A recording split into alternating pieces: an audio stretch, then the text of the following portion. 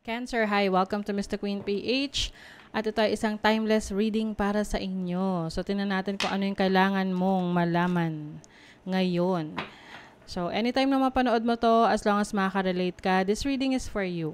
Ayan. This is also a general reading, so maari kang makarelate, maaring hindi, just take what resonates. Panoorin nyo rin yung inyong Sun, Moon, Rising, and Venus para sa iba pang mensahe. Meron tayong video na nagpapaliwanag tungkol doon. Link on the description.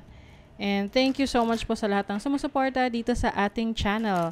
If you're interested sa private reading, no, so this is the best time to get a private reading dahil meron tayong promo, 50% discount. Yan. So, on all services from June 11 to 30, 2023, naka 50% discount tayo.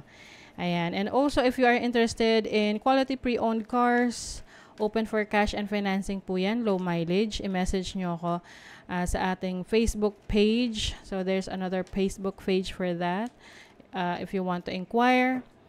And lahat ng details dun sa private reading nasa description. Okay, so let's see Cancer. Ano ang kailangan mong malaman ngayon? Pa-follow na rin sa ating mga social media accounts. Ayan, meron tayong Instagram, TikTok, and Facebook. Ano kailangan malaman ng mga cancer? Oh, the how is in the now. Hmm, parang meron kayong ano ah, inaalam kung paano nyo gagawin, paano nyo sisimulan. Oo. Eh, sabi eh, the how is in the now. What has your intuition been trying to tell you? Ayan, ngayon na daw. Just do it, kumbaga. And some of you, uh, kumbaga, ano na eh, nararamdaman nyo na. Alam nyo na actually kung paano nyo gagawin yan. This can be a change in your life or meron kayong bagong susubukan na new endeavor. So, yung iba, iniisip nyo, paano kaya yon Paano ko kaya sisimulan? Oh, the how is in the now. Gawin na daw ngayon. Parang nung ano, nung magsa-start ako ng YouTube channel ko sa tarot reading, like for a few months, hindi ko masimulan-simulan kasi hindi ko alam kung paano sisimulan na pag andyan na, hindi ko na alam yung gagawin or parang nagpo-procrastinate din ako. But, you just need to do it eh. Mm-mm. Kailangan mo lang talagang gawin, simulan para makita mo yung resulta. Ayan. So, tinan natin kung saang area of life yan for some of you. Ninth house. So, this is about your spirituality, belief system, higher learning, So, yung iba gusto nyong mag-aral, gusto nyong merong idagdag na knowledge no sa inyong life. Ninth house is also about travel pag abroad. So maaring iba sa inyo nag-iisip na magtrabaho abroad or magbakasyon sa ibang lugar. And nag-iisip kayo kung paano nyo gagawin yon So, kailangan simulan nyo na lang, no? paano ba sisimulan yan? Eh, di una, alamin nyo kung saan bansa nyo gustong pumunta. Pangalawa, ano yung credentials nyo, lalo na kung gusto nyo magtrabaho doon. So, paano kung sa tingin nyo hindi kayo pasok doon sa mga uh, qualified. So, tanong nyo sa sarili nyo, paano kayo magiging qualified? Maaring kailangan, may, kailangan meron kayong pag-aralan, idagdag na skill set sa inyong buhay para, you know, magkaroon kayo ng bagong uh, maipag, parang somehow maipagmamalaki or mai-offer, no, sa career na yan. Okay? Let's see. Five of Wands. You have the Page of Swords. Oh, speaking of pag-aaral, kailangan nyo daw mag-research. Kasi I think conflicted ka eh. Pwede rin maraming opportunities or maraming options sa'yo. Medyo conflicted ka lang kung alin yung pipiliin mo. And you are also becoming more competitive, no? Uh, gusto mo kasi yung best for you. Possible rin na may nakikita ka na uh, kaibigan mo, kamag-anak mo na they are already doing uh, like something na related rin sa pangarap mo. Oo, and iniisip mo paano kaya paano ko kaya gagawin rin 'yon? Paano rin kaya ako magiging ganon?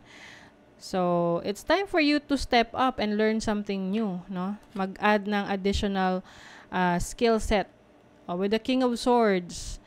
Ayan, so pagiging logical sa situation na alamin mo rin kung ito ba ay Uh, kailangan mo talaga? Ito ba talaga ay makakabuti for you at this point? Practical ba siya ngayon na gawin? Mm-mm. Nine of Swords, o yun ba, hindi na kayo makatulog sa kakaisip. Oo, yung iba naman, I think you are already doing your part, no? Nagre-research, nagre-research. Uh, nasa point rin kayo na lagi kayong pagod, puyat, no? Para alamin. Ayan. Eight of Pentacles, you're, you're really mastering your craft. So, some of you are uh, very creative, talented. Meron kayong mga gifts na binigay sa inyo ni God na you can use it to improve your life, improve your situation. You have the temperance card.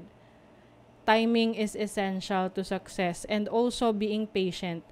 May mga pagkakataon siguro na nagmamadali kayo, gusto niyo na agad na maging uh, successful, ma-achieve yung goals and dreams nyo. But, you know, you can't really shortcut success. It's a process na kailangan mong pagdaanan. Two of Wands And also decision. Decision kung alin talaga saan ka magfo-focus. Oo, yung iba iniisip na, ah, oh, maganda yung multitasking. Uh, may mga pagkakataon na maganda yung multitasking. Uh, pero sabi nga eh, mas maganda raw na ikaw ay merong expertise, no? Mm. Judgment. You are about to change your perspective. Uh, merong magbabago sa buhay mo ngayon pagdating sa pananaw mo sa buhay uh, yung mga gawain mo. I think, alam mo na kasi kung ano yung hindi nagwo-work for you, alam mo na rin yung uh, sa tingin mo na magwo-work for you. Mm-mm. May kinalaman sa attitude mo. You have the sun. The sun is telling me na parang it, is this is guaranteed success for you if you are doing if you are go kung gagawin mo talaga yung work. No? Kumbaga pagtatrabahuhan mo talaga, this is going to be successful for you. Kailangan mo lang talaga tong effortan, tsaka pag-isipang maigi pag-aralan. Kumbaga, handa ka. Handa ka sa papasukin mo. Hindi yung clueless ka, wala kang alam, no? So, you also have uh, Venus in Capricorn in the 10th house. Some of you, this is related to your job, your career. And Venus is about your love for your craft, for your work, for your money. So, I think you really want, gusto mo ng stable na career.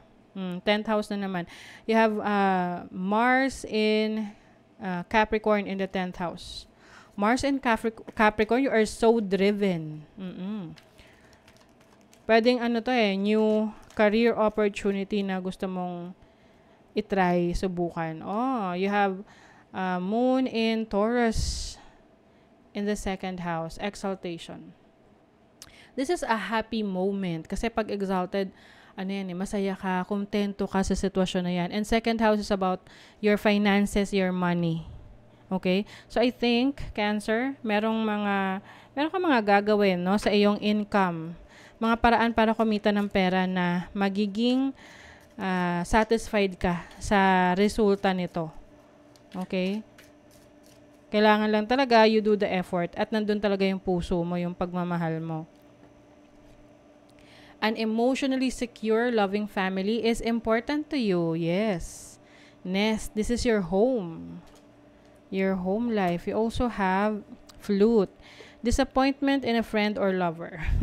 Baka merong mangdi-disappoint na friend or mahal mo sa buhay or romantic partner mo. Uh, normal naman yun. Wala namang perfect, no? As long as nagkakaintindihan kayo ay in need of help, assistance, and guidance. So, yeah, ito yung hinahanap nyong clarity sa situation ninyo. Oo. If which way or which path to take. Kung paano nyo gagawin yan. Kaya nga ngayon, sinasabi, the how is in the now. Do it now. Huwag nyo na raw palagpasin pa. Oo. Para at least alam nyo na kung ano yung magiging resulta moving forward because you'll never know eh. Mm, there are changes in your life coming, Cancer. With the moon card here. So, be open to changes. Para, ano, may magbago talaga. Kasi kung hindi ka open to changes, wala kang babaguhin sa sarili mo sa buhay mo eh. Mm-mm. So, let's see your ease. Today, I allow life to be easy. Yes, ikaw magde-decide kung magiging mahirap para sa ang araw na to o hindi. No? Kung magiging madali. So, ito yung affirmation mo. Today, I allow life to be easy. Mm.